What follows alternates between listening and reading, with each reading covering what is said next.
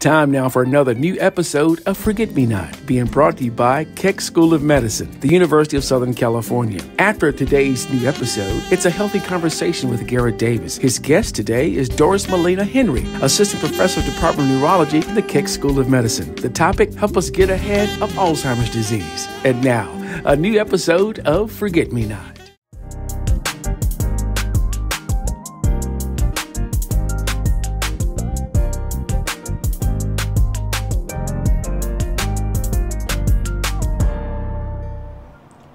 Want y'all to know that we're gonna get through this as a family. You just gotta remember we gotta work and we gotta talk things through about your grandfather. Yeah, I know, Dad. It's just, it scared me when he jumped at me like that. Hmm. I mean, I know he's confused, but I didn't know he was that confused. We just can't just make sudden moves and we can't sneak up on him. You know what I'm saying? Hmm. TJ, you know I love you, son. You know that, right? Will you do that? What? Dad, you know I love you. All right then. And you too, TJ, with your big fat head. My big fat head. Yes, your big fat head. Girl, don't get me started on your big old bunny rabbit ears. Hold it. Hold it. Stop. Let's find something to do. Don't matter. Matter of fact, I know what you can do. Go to the rooms, clean up. I know they junky. Yeah. His room is junky. Yours do, I saw. No. You to it. See y'all at dinner time. TJ, your hair getting too long. That's your problem. That's your problem. And hey, don't do that. Don't do that. I see your hair blue, but I change it back. I I I make it black. Don't your neck still popping.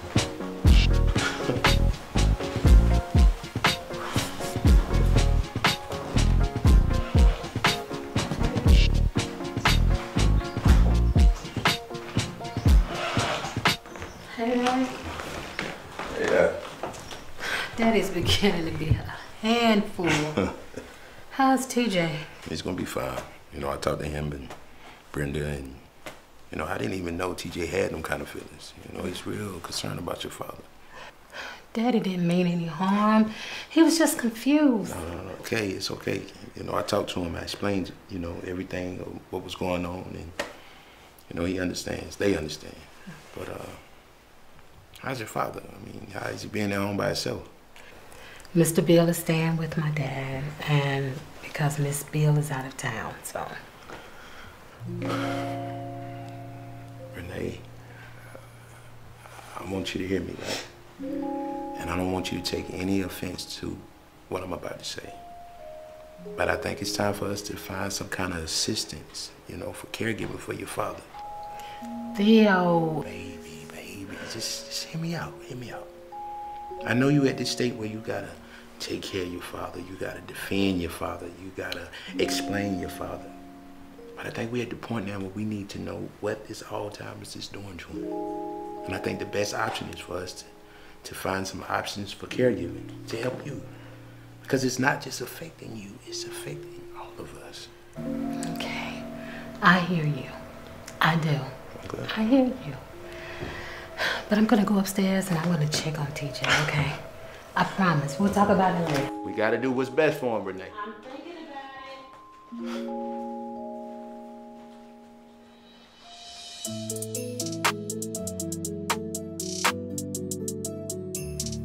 it. Good afternoon. It's good to see you again, Kim. And how are you today, Mr. Jameson? Oh, I'm doing fine. My daughter thought it would be a good idea if I signed up for this study, since our friend June is experiencing Alzheimer's. Well, I applaud you, Kim, for being an advocate in this matter. And you too, Mr. Jameson, for willing to participate in this study. I understand. But you know, if I were being honest, at first, I didn't want no parts of this. But after baby girl explained to me how important this was to our community to take part so that we would understand Alzheimer's better, I wanted to do my part. And of course, that may help lead to a cure. Well, unfortunately, Mr. Jameson, you will not be able to participate in the study. What do you mean? Why can't my father participate? So, your father has diabetes, so he will not be able to participate in this study. My little sister passed away from this disease. So did my mother. Now, You said this would be a good thing for us to do. I understand your frustration, but we have strict guidelines that we have to follow. I mean, so what do we supposed to do in the meantime? Is there another study? I want you and your father to consider signing up for one of our clinical trial registry. Okay. Let me read some information to you both, just to give you a little bit of a better understanding, okay? So the registry is like a collection of information about individuals.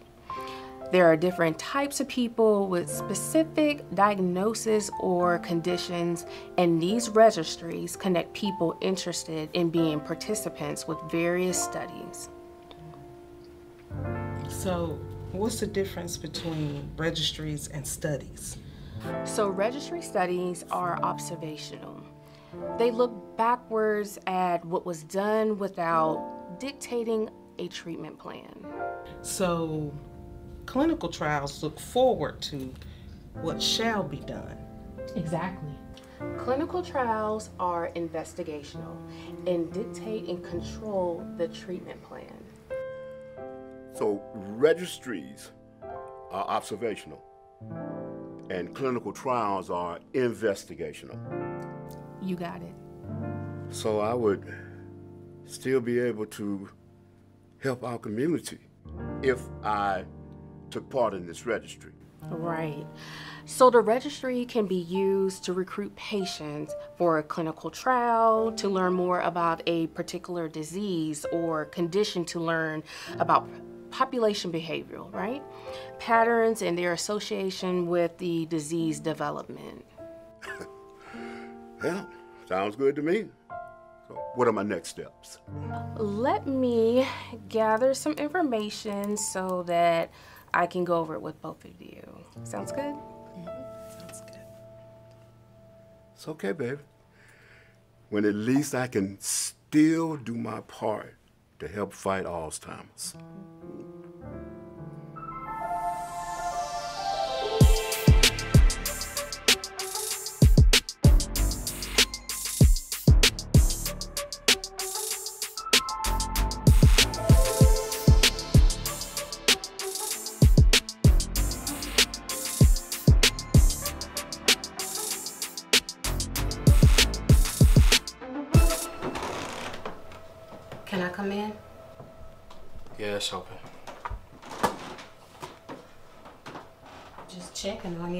Okay?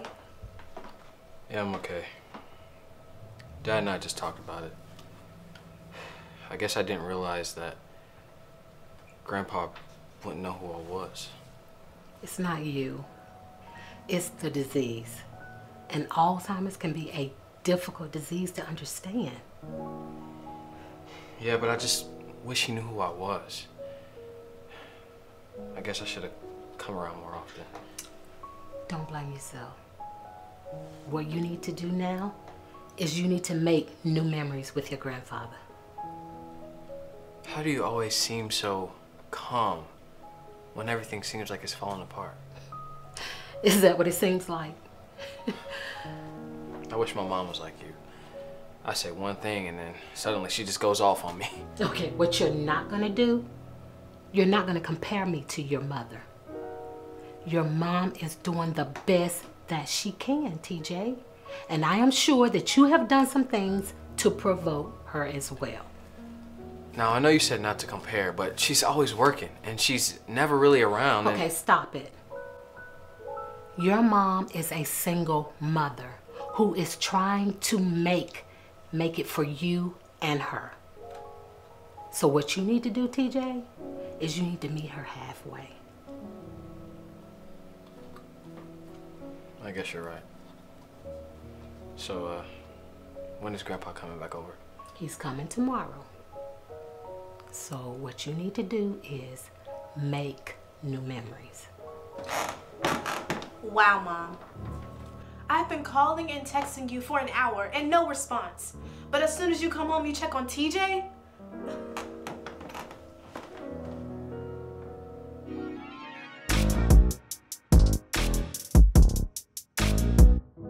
Tell me what happened with June and TJ. Oh, you really want to know? Well, let me tell you, the appears that TJ was sneaking up on June, and June had one of them flashbacks, you know, like he was in the old days in the war, and before you know it, June snatched that boy by his neck, put him in the headlock. Ooh, scared the mess out that child. Oh my God. She should have been there. Wow. June something else. Don't mess with June now. Well, you know, Renee called me. She did. And told me that, you know, she was going to set up an appointment for June because she wanted to check on the progression of his Alzheimer's. You know, this thing is getting serious. This Alzheimer's in June. I don't know how long he's going to be able to stay in this house by himself. Yeah, you're right. Well, tell me what happened with your study. Oh, I'm doing good. I'm learning new things every day. Them people over there at the health center, they take their time and they explain everything to me. I really appreciate them. They work good with me. That's good. You know what? That's funny because I used to think people participating in those clinical trials mm. was signing up to be guinea pigs. Guinea? Look, see, see that, that's the problem right there. You're thinking too much. The miseducation of our people is the reason why we're held back.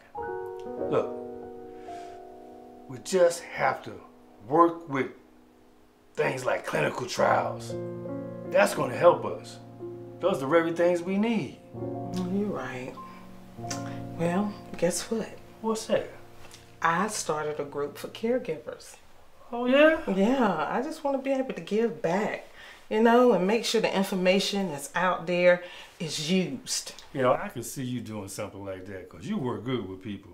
You know, the information is out there. The, the thing is this, this. We just got to make sure that our people understand, trust, and believe in the process. Then we'll get somewhere. You're right, Uncle Bill. All right, now. You're doing all right.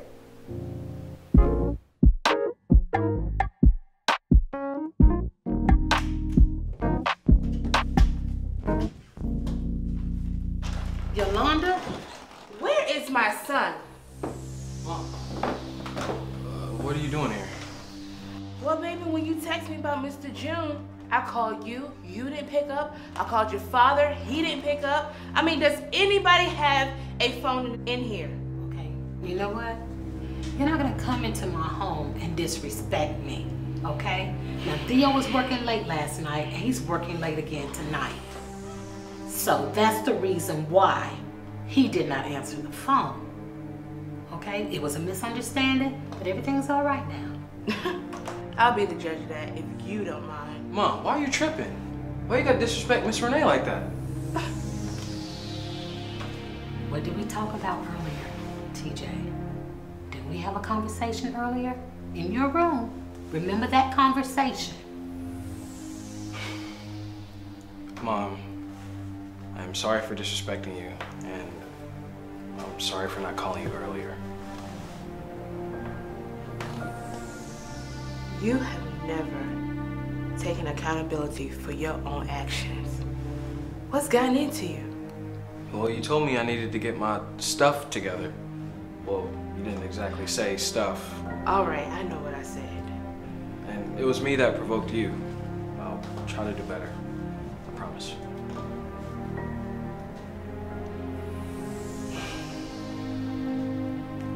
I'm sorry for how I came in earlier. Since you're here, you might as well join us for dinner. Are you sure? I don't want to be in trouble. No, you're fine. We can all just sit down and have a conversation.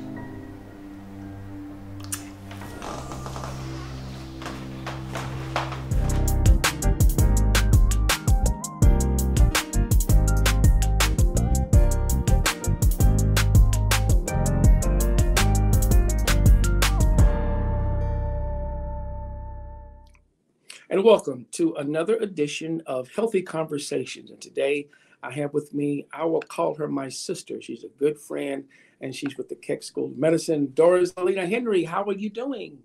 I am doing great, Garrett. great to be here. Thank you for taking time on your schedule. So, what we've been doing um, after the, you know the episodes of Forget Me Not, we've been uh, having these healthy conversations. But even before we get into the conversation, I want people to know who we're talking to. So, where are you from, Doris? So, I am in California. I'm actually part of the faculty of the Keck School of Medicine. Uh, and I am based in San Diego as I am part of the Alzheimer's Therapeutic Research Institute.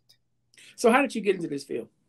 So, I was trained as a neurobiologist. So, I did do work in neuroscience, uh, particularly in mice and rats. So, mostly animal research, and became very interested more in the disease mechanisms, things that affect our brain. So, I was already on the path for brain research after um, having having uh, gone through different programs and then decided that I wanted to take the leap into Alzheimer's and started working um, very with a local institution as an affiliate faculty member just to learn more about Alzheimer's disease and became very very engaged with the with the mission of finding a way to treat this disease and learned about so many things that were in place to advance and accelerate a way mm. to to change the course for so many people that will suffer from that disease in the future. Right. When we say research and people of color in clinical yeah. trials, a lot of times they don't all go into the same bowl evenly. Um, right. So, how has it been, you know, being in this field of research in terms of of seeing other people that look like you? Is that a is that a small window? yes, it is. It's it's still interesting to walk into meetings and conferences and you know workspaces, and you're one of the few. Um, mm-hmm. And know what's exciting at this time is seeing so many more people being involved in changing that. That mm-hmm. there's really a stronger push in making sure that there are more there's more representation people that look like me mm-hmm. both uh, you know in in terms of race as well as gender right and and that that we're there and that we can bring those lived experiences perspectives that can really help us push forward to support and benefit individuals that are often not um, not as supported, not as taken care of in our communities. And the reason I ask that question is because when we do conversations like mm-hmm. this, you know, I wanted to be candid from the standpoint it's very rare or can be rare that mm-hmm. those are in this field, you know, do not look like the people that we're trying to reach. And anytime yeah. we have a person of color or you know um, talking about the space, I want them to know how they got into it, why they're into it before we just jump into the space because it's important that we understand, you know, research. So break down research because you know when we say research and clinical trials, I want people to know you know the mm-hmm. difference between research and clinical trials. So if you could break down That's, the difference between research and clinical trials. That's a great point, Garrett, because I think we use these words so loosely because you often hear from people that are in in research talking about these things as though the world understands and and it's common language. And so when we talk about research, we talk about any investigation that is done under a certain design systematically so that we can answer a given question. In clinical research, we're talking about a given question in the clinical space. So let's talk about Alzheimer's, for example. When we're talking about Alzheimer's, that becomes a clinical condition and uh, a disease, a disease that we're trying to tackle and trying to treat. And so we're in that clinical space, but we have to answer questions about how that disease changes the individual, affects their health, affects their well being. So you bring in questions, but you design studies around those questions that allow you to answer them concretely, not without a shadow of a doubt. Research will never be without a shadow of a doubt, but can allow you to make, with the way in which you've looked at that question, you can make some some educated um, in uh, conclusions about what what the disease is. Then we also look at research from the perspective of not only understanding the disease, but how can we treat a disease? How can we slow a disease? How can we treat how it affects people, the symptoms of the disease? And that's typically within Alzheimer's disease, which is the area that I focus on. We, we typically are looking at those three things within the area of treatment. Uh, and that is making sure that we're delaying, we're, we're making sure that we're slowing, or making sure that we're treating the symptoms so to improve quality of life. So that's, I'm sorry, and you asked me for research. So that's research itself. And then when we talk about clinical trials, then these are studies designed to look at one specific treatment in a specific population that has a specific presentation of that disease to see if that treatment is beneficial and is safe to treat this the condition that it, that we're trying to treat. And I promise our viewers we are going to get into the conversation about you know, um, you know, some some options for clinical trials, but I want to dig a little bit deeper into what do you think the disconnect is when it comes to people of color and researching clinical trials? You know, how how, how you know what's the disconnect then too? How do we begin to kind of bridge that gap? Yeah, you know, this is a conversation that I'm so glad we're having here, but I'm so glad that we're having in general I mm-hmm. think oftentimes that conversation was swept under the rug because it's an uncomfortable conversation and that there are a myriad of reasons.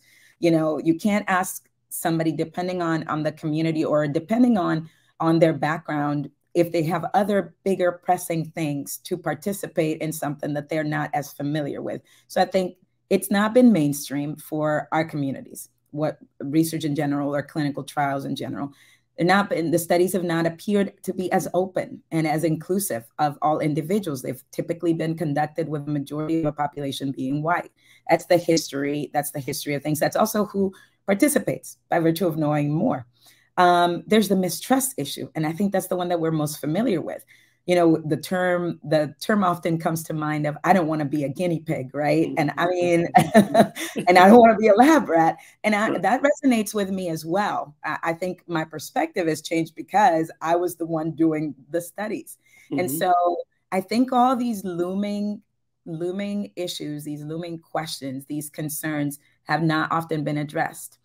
I think from the researcher side we often come into a community speaking our language rather than listening and understanding what the concerns within that community are before we try to solve a problem.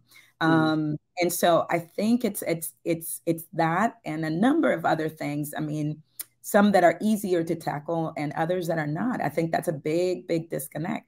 Yeah. And the abuses of of power that have occurred historically in this country have contributed a lot to that mistrust as well, and still occur, unfortunately and all of that that takes place and that, that, that took place, you know, over the years, you know, mm-hmm. I think sometimes the thing that that bothers me is we still allow that to be a stumbling block to not trust. And mm-hmm. I do, you know, I, I, say it all the time, you know, I hate what happened with Tuskegee. And, you know, it was it was awful. You know, it was awful what they did. It was awful how long it went on.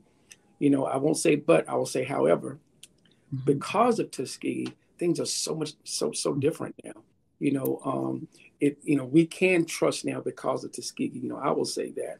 I think, mm-hmm. you know, sometimes we allow things that have happened in the past to be a stumbling block, you know, because I would hate for them to come up with a cure for Alzheimer's disease and it doesn't work in us because we didn't participate in clinical trials.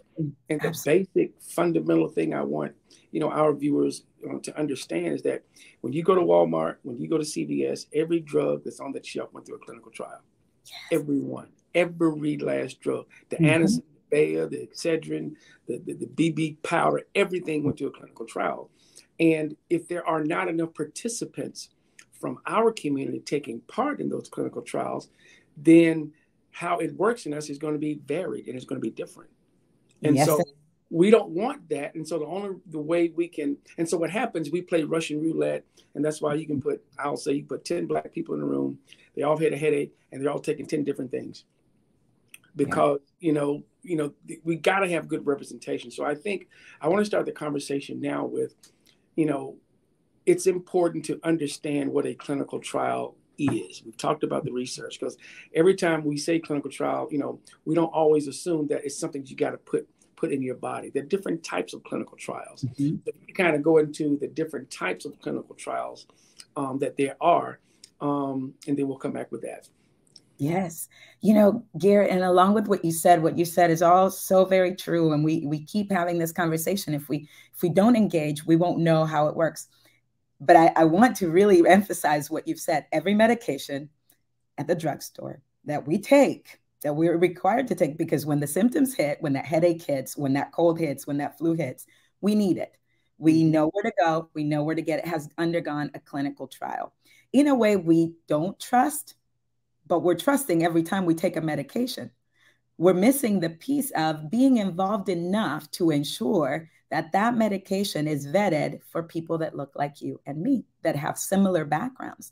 And so I think in a way we're trusting, but we're trusting a little bit late in the in the story mm-hmm. when we could really be a part of it and also make sure that things are designed in a way or or tested in a way that we know for a fact that they're going to be beneficial for us, for our kids, for our grandkids in the future to come. And so the, the science will move on. Clinical mm-hmm. trials will continue people will continue to participate. We will continue to find drugs.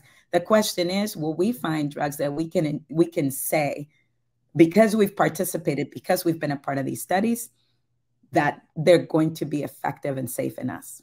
Right. And so. My mother has Alzheimer's disease and my sister is the primary caregiver. And one of the questions she asked me was, you know, Garrett, where do I go to find out about a clinical trial? You know, so how does a person you know, whether it's my sister who's taking care of someone with Alzheimer's disease or just someone who just, you know, who's been affected by a friend, how do they know where to go to yeah. to find out about clinical trials? Because it's not like, you know, you can just where, where do they go? yeah, because trials are conducted all over the country, right? And some of these trials are, you know, the same trial, but they have different places that are actually executing that trial. So it is, it's it seems as it's though as though it is hard to find. One easy way to start is to go to clinicaltrials.gov. Clinicaltrials.gov has registered all clinical trials that are ongoing, and they this is where the, the, these studies are required to have a number from that entity to ensure that these are being tracked and that they are made accessible to the to the public. Another way that I feel may be a little less intimidating because you know when we say go to a website and now we find 143 trials, which is about what we have right now in 2022 on 40 different types of compounds, that can get very intimidating. But I think it's going to your trusted medical facility and finding out what trials they have ongoing for Alzheimer's disease. And if it's not the closest one, are there others around? I can talk to you about a specific t- study, and I know we will at some point. But I think just to understand that that that would be the easiest part, the easiest approach to finding finding out what's available, what's available in my area, what's available within my radius of comfort, trust, and and the providers that I'm already seeing. If you have family members, right, as you do, that are suffering with the disease or there are concerns, your neurologist is going to be the first person that you'll see after your PCP. The neurologist now, will be. I, I, want, I, want, I, want, to cut you off. You said neurologist.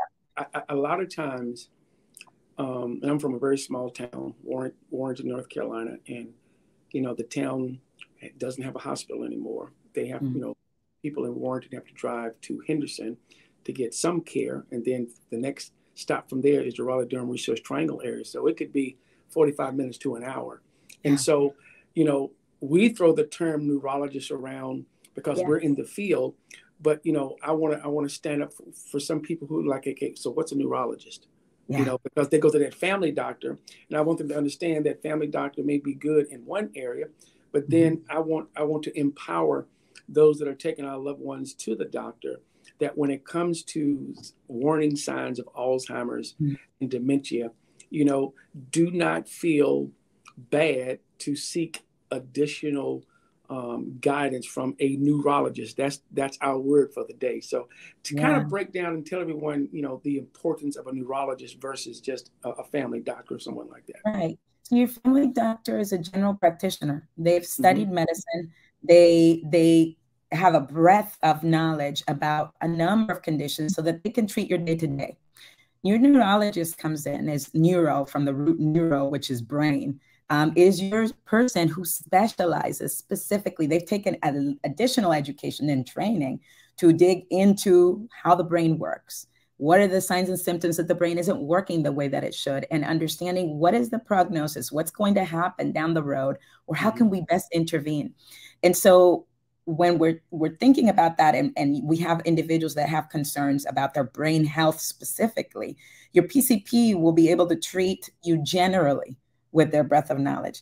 But the, the next step will be to refer you and send you to somebody who specializes in that brain health and is able to run the adequate test to be able to decide what it is that's happening what's changing and how can we approach it so that we can get on a plan that person can get on a plan of care and so that's your your specialized individual and that person particularly for alzheimer's and other dementias becomes the the um the guide uh, mm-hmm. for that that next stage in terms of managing that that condition so i want to i want to take our viewers in stages and so mm-hmm. holidays are coming up and we're going to yeah. have people coming from out of town family members who haven't seen mom or dad in a while and so mm-hmm. on every show, I've always stated, and I'll state again on this one, before you get back in your car and get in your plane, you know, I want the siblings to sit down have a conversation, talk about, did you notice anything different about mom or dad?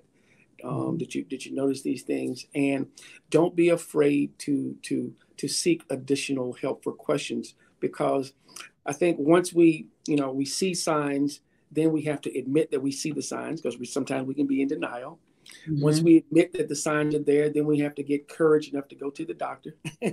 Then we have to um, accept the, the doctor's analysis and diagnosis. And then we have to figure out what to do. Okay. And it seems like all of those steps, what gets left out or never gets considered are clinical trials. We try yeah. to put a plan together for caregiving. We try to put a plan together for finances. We try to put a plan together for comfort and, and, and quality of life but we never look at clinical trials as an option. And I want to challenge and encourage those families that are caring for a loved one um, and dealing with dementia, Alzheimer's, to please consider um, clinical trials as an option. So let's talk about some of the benefits before we get into some of the options, the benefits of taking part in a clinical trial, because there are some benefits to doing that. Oh, absolutely. And you know, oftentimes I think what's a little bit tricky is we think direct benefit means that it's likely going to fix a problem. You, right. I think we, we have this erroneous idea that the trial is is destined to work. Most trials don't.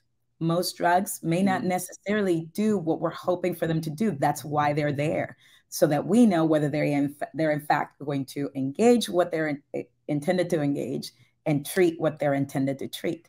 Um, nonetheless, they they need to be done, and undergoing that process is required and necessary. It's a safe. It's not. It's the the. I would say the most. One of the ways in which you can most confidently know that you're being monitored while you're taking a medication mm-hmm. uh, or taking an investigational treatment when you go to the pharmacy, nobody's watching what you're taking and if it's affecting your liver. But here, mm, everybody is watching and monitoring any any and every little change in you and any new symptom or any adverse effect. And so that's one of the encouraging things of participating in that, as opposed to, well, I'll take this medication that now has been approved, but nobody like me participated. So we'll find out if it works or not, right? So that's one, one of those benefits that we don't necessarily contemplate. There's often financial, often, or I will say almost every every every study has financial compensation for their participants. And that may vary in very, very few cases, but there's always financial compensation, and that's described in a document that is mm-hmm. shared with the prospective participants. So let's say that you're contemplating participating in a clinical trial. And let me know if I'm moving too too fast through this. Um, but there's a document called a consent form. It's an informed consent form. That consent form, which did not exist in the times of Tuskegee and did not exist in the in these other times, is there to ensure that everything that will happen in that trial is outlined in a way that you and me and the lay public can understand. Mm-hmm. Mm-hmm. That form mm-hmm. is a form that is required for every study and is it, you should be able to understand it to make that decision. Otherwise, you you're not it's your only way of participating in a trial. And in that that particular form, the compensation for the study is discussed, the procedures in the study are discussed, the treatment that the investigational treatment that will be used is discussed, the potential for adverse effects, anything to expect, how to react, what to do, etc. And most importantly, and I want to put like an underline under this, okay. is the statement that you can withdraw from the study at any time. You can commit to a study. That does not mean that you have sold your soul. it simply means that, hey, you know what? Today I feel that I can do this. I want to do this because I think it's important for me, for my community, for the world, for Alzheimer's disease, etc and you may decide this is just not for me anymore, you can always withdraw in, in the vein of benefits so that we're talking about compensation, we're talking about autonomy. You own your decision making power throughout the study. Um, but I also think that there's the general benefit, which is more altruistic as the reason why I'm doing this. It's the reason why you're doing it. You may not be affected directly, but to know that there will be something out there available because I was involved uh, when the time comes, if I ever need it or if others need it. So there are a myriad of benefits that don't often translate into the direct benefit to me. But mm-hmm. I think hugely for us, for our communities, for individuals that look like you, that look like me, to be able to to make sure that our we count and we are counted within that study these studies is is hugely important as a, as also, a group. Yeah, I also think that you know by taking part, it gives you a sense of comfort because okay. you're going to learn, you're going mm-hmm. to be mm-hmm. educated on everything that is taking place, and I think you're once you become knowledgeable and you understand what's taking place and why it's taking place, and you under, understand things, it gives you a certain comfort level. And then now you begin to impart that information onto your other members of your family. And so you can look at this as becoming an ambassador for, you know, you could you could be the start of educating your family about the comfort level of doing something like this and how important it is, you know, for, for the community to take part. And but it's I guess it could start in your own home. You know what I'm saying? Oh yes, and I think you know I, I'm remiss that I I didn't consider that and think about it as a benefit per se, but I think you're so right, Garrett. I mean, how would you know that you're at risk until you kind of participated in something? And you may think, well, I may not want to know. I mean, I'd rather not know. Um, but this is the kind of disease, particularly when we talk about Alzheimer's disease, that time is of the essence. The mm-hmm. sooner you know that you're a at risk, the sooner you know that you're you you have that gene genetic makeup that you that makes you more likely the sooner you can make some changes the sooner you can get involved in the conversation the more support you can rally the more conversations you can have and i think that we take that for granted but uh, we learn so much from these processes we we it brings us comfort it brings us understanding and it allows us to be those ambassadors in our communities to to move things forward Right. And I think, you know, at some point, because we live in a world where there are more people over 65 than under 17, at some point, you know, we're going to be taking care of someone and someone's going to be taking care of us. And I think by getting out in front, this is a way to get out in front of the disease, is by getting as much information that we can gain as possible. So let's talk about some studies that, that, mm-hmm. you know, that, that are out that I think we should um, look at. Yeah, so I will share some of the studies that I'm involved in at the Alzheimer's Therapeutic Research Institute. So what we are is a a coordinating center, if you would, for clinical trials. And so there are a number of clinical trials that are going on and they're happening at different locations. But one study that I'm extremely excited about and that I work on is the AHEAD study. Um, and our hope is that we can get ahead of Alzheimer's. Okay. So, you know, yes. Uh, so, you know, Alzheimer's we we always think about it because people start losing their memory. And I wanted to bring this up just as a, as a side side note. We often think that losing your memory with age is a normal thing. Oh, well, you know, mom just, you know, she's just getting forgetful. But you know this. You and I know this. Mm-hmm. Uh, that forgetfulness, there's a certain level of forgetfulness that is not memory loss. Memory loss and the disappearance of just pieces of, of that memory of that individual is a disease. It's not normal. And we don't necessarily have to live with it. Um, it just happens to be something that has been happening for a while. And so, having made made that um, that statement with the AHEAD study, our goal has not been to just treat the disease when it's happening, is to go back and treat the disease before it begins to cause these problems. So the things that happen in the brain to take us to the the characteristic symptoms of Alzheimer's disease, like memory loss, which is what people typically attribute to mm-hmm. or associate with Alzheimer's disease, begin to happen about 20 years before that person starts to lose their memory. Hmm. If you're at risk, those changes are happening in your brain and nobody knows for 20 years. At 20 years, now the signs show up. Now you're starting to notice that you forgot that appointment but never remembered it. It's not the same.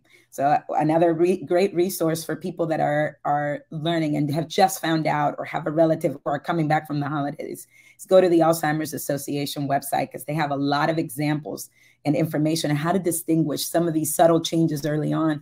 But you know, it's the it's the person that forgets that they had an appointment or forgets to pay the bill on time uh, is is normal. You know, when you're in your 60s but the person that never remembers that they ever had that appointment, the person mm-hmm. that never remembers um, that that bill even existed, that person is now beginning to suffer from other changes that are more more that may be indicative of a disease. So our goal with this study is to engage and bring in a group of people, about 1,400 people, that will that are at high risk for this disease because those changes are happening in their brain already. So let's, that, talk, let's talk about high yeah. risk. How, how, would I know? Because mm-hmm. I've had several members in my family mm-hmm. to be uh, inflicted with that disease. Would, would that would, would I be considered high risk? That's correct. Okay. So a family history puts us at risk. Mm-hmm. There are certain genes that put us at risk. Um, and that gets a little bit more confusing because you have to go somewhere and get that genetic result. But mm-hmm. definitely things that we can see, that we can detect that tell us that we're high risk include having having a family history certain comorbidities make us more likely so that in the combination of these things like family history and comorbidities and by comorbidities i mean other conditions like mm-hmm. hypertension diabetes all these have been very tightly associated with increasing your risk mm-hmm. of alzheimer's later in life um, you have things like um, race and ethnicity not by virtue of there being any biological element to our race and ethnicity, but our, our history, our lifestyle, um, our exposures are different. And that actually makes us more likely to, to be, be more at risk. And we know this because Black individuals are two times as likely to develop Alzheimer's disease compared to whites.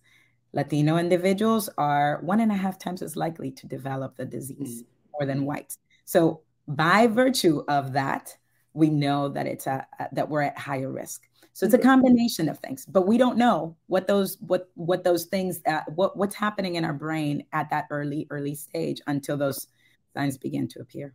Okay, so keep talking about the. I, I didn't mean to cut you off. So keep talking. No, no, no. That's great. And so so so those are some of our risk factors and being able to to to identify individuals that already have these risk factors early on opens the door for us to say hey let's pre-screen you let's let's kind of see if you pre-qualify for this study one of the things that we don't talk about a lot particularly in the context of clinical trials is that these studies are testing an investigational treatment that is is intended to treat a specific thing in the brain or in the body so that means that that specific thing needs to be present.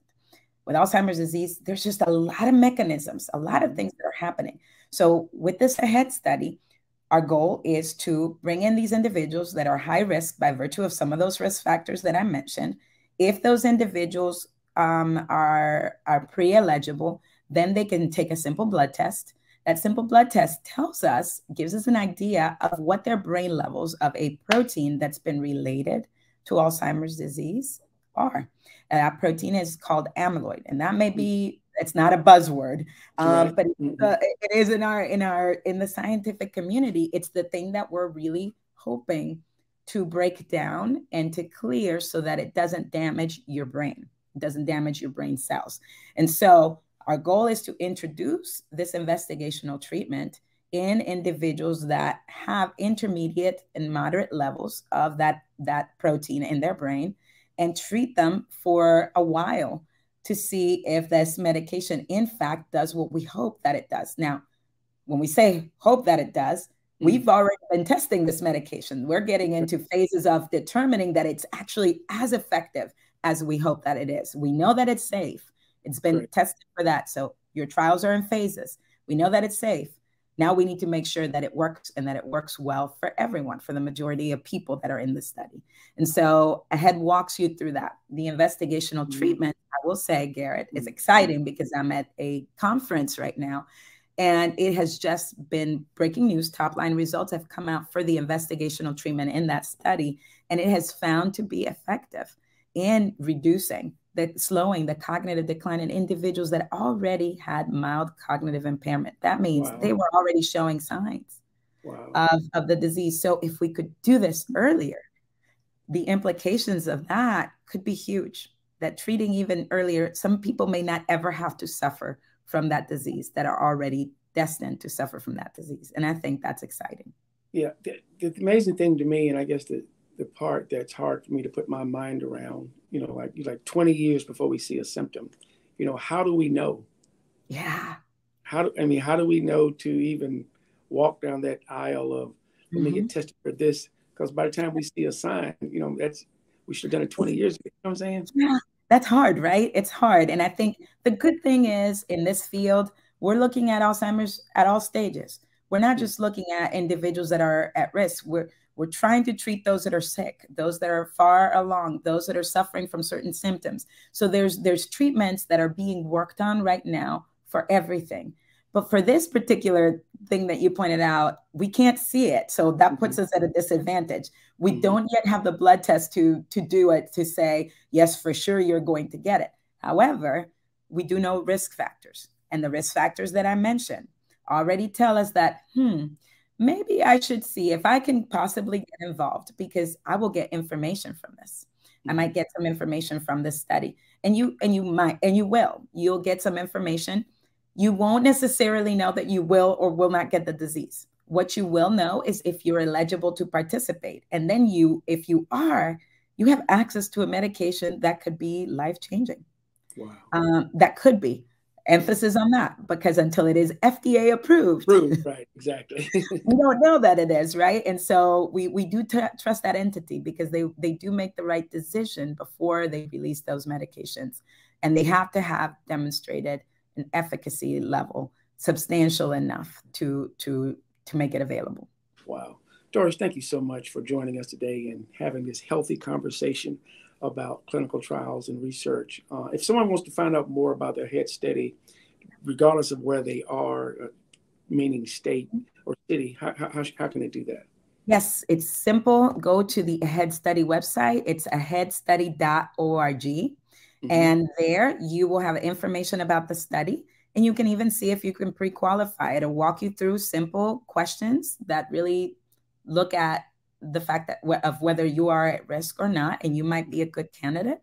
And then if you are and you move past that, then you can you you can be invited to have a blood simple blood test done to determine if you can move into the next phase of the study.